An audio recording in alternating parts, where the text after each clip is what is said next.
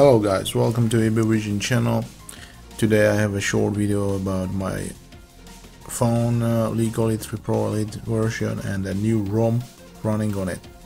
So as you already know, I had a Pixel Experience ROM on this one, which was based on an Android 9 version and I was really happy with it. But after some time, after using this phone uh, as my daily driver with that ROM, I started uh, having some problems. So when I was calling to somebody from Messenger or a WhatsApp application, uh, front camera started to stop working.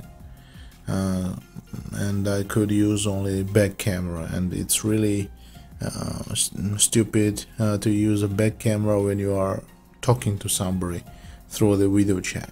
So uh, this problem was really annoying and I started to uh, look for some solutions. A guy who made that ROM uh, was writing on his blog uh, that he sold the phone and uh, that's why he dropped the development of uh, that ROM. So I started to look for some solutions and solution was found.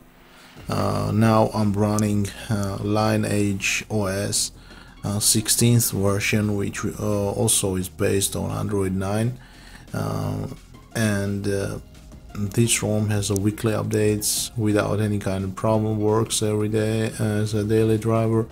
And uh, I'm not having the problems I had with the old ROM.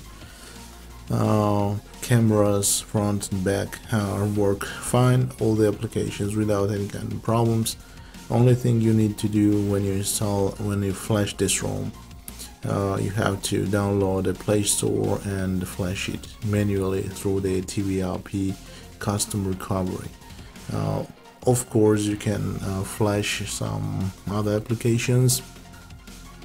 Uh, for example you can root it through the Magisk uh, Magisk uh, I recommend installing Magisk through the TWRP custom recovery too and of course as you can see I'm running a, a Google camera on this one.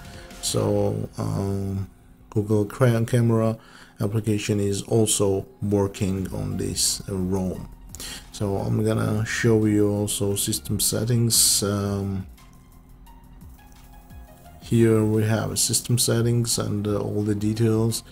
Uh, I don't need to explain to you because you already know how it works and how it looks I'm just uh, gonna show you that I'm not lying to you or something and I'm really using um, ninth version of Android based on Lineage OS 16th as you can see uh, Android version uh, is uh, a latest one and uh, it was released on November 2 2018 uh, also you have possibility to update this ROM and or find some updates uh, through this uh, refresh button up there.